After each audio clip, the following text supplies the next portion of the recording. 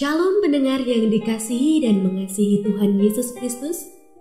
Kita berjumpa lagi dalam program Waktu Teduh bersama Renungan Harian terbitan Yayasan Gloria. Mari kita siapkan hati untuk mendengarkan firman Tuhan.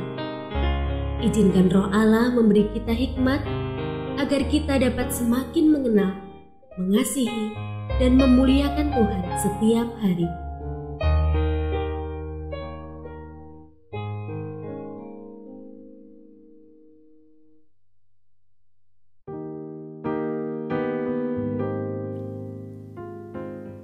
Bagian firman Tuhan yang akan kita baca hari ini adalah dari Yohanes pasal 6 ayat 1 sampai 15.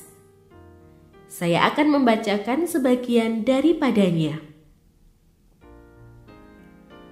Setelah mereka kenyang, ia berkata kepada murid-muridnya, "Kumpulkanlah potongan-potongan yang lebih supaya tidak ada yang terbuang."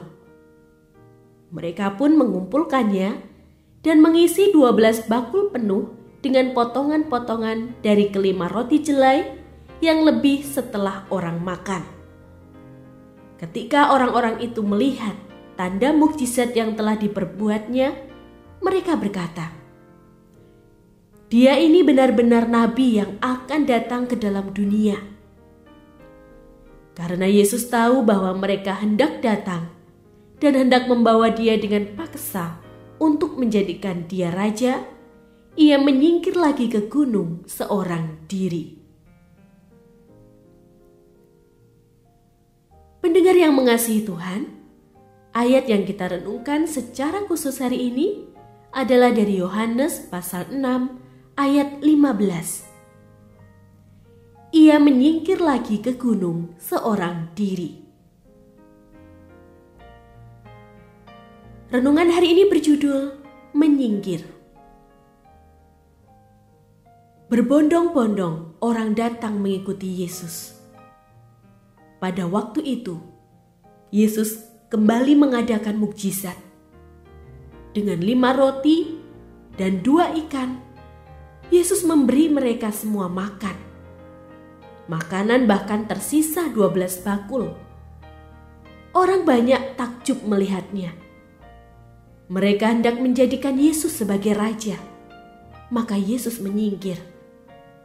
Yesus menjauhi kerumunan, lalu pergi ke gunung seorang diri. Di situ dia berdoa. Hari-hari kehidupan di dunia ini syarat akan persoalan. Kadangkala persoalan datang berbondong-bondong. Belum selesai satu masalah, sudah ada masalah lain lagi. Bila situasi seperti itu terjadi, kita dapat meneladani tindakan Yesus, yakni menyingkir. Kita pergi menjauhi kerumunan persoalan untuk berdoa.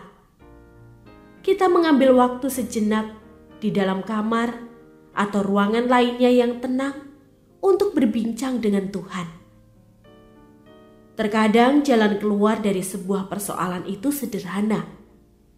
Tetapi kita tidak sadar karena pikiran sudah terlampau penuh dengan kecemasan dan kebimbangan.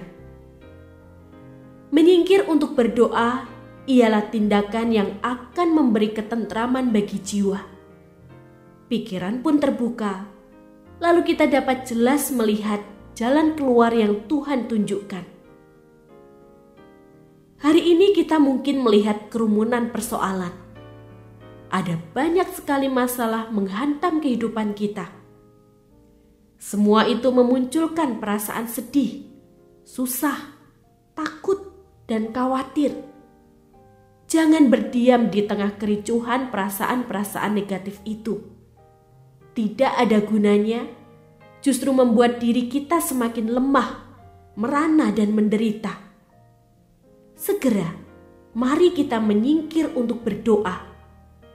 Mari perbincangkan setiap persoalan kepada Tuhan yang Maha Kuasa. Maka, seketika hati kita menjadi tentram. Lalu satu demi satu dari persoalan itu akan kita dapatkan jalan keluarnya dari Tuhan. setiap kali kerumunan persoalan mendatangi kita, maka bergegaslah kita menyingkir untuk berdoa.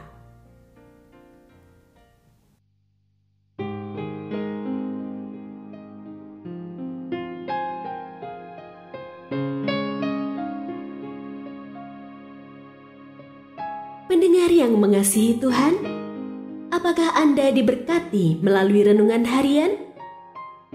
jadilah berkat dengan mendukung pelayanan kami.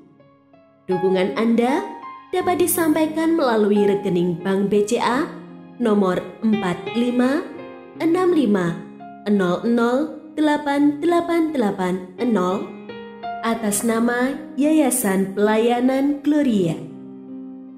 Informasi lebih lanjut mengenai renungan harian dapat dilihat di situs web kami renunganharian.net.